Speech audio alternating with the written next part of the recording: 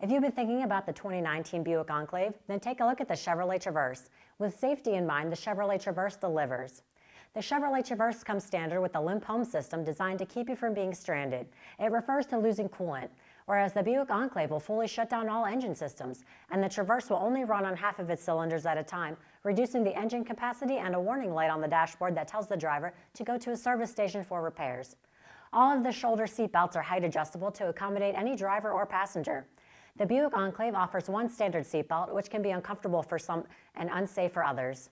The National Highway Traffic Safety Administration crash test rates the Traverse with five stars and the Enclave with only four stars due to its front crash rating for the passenger side.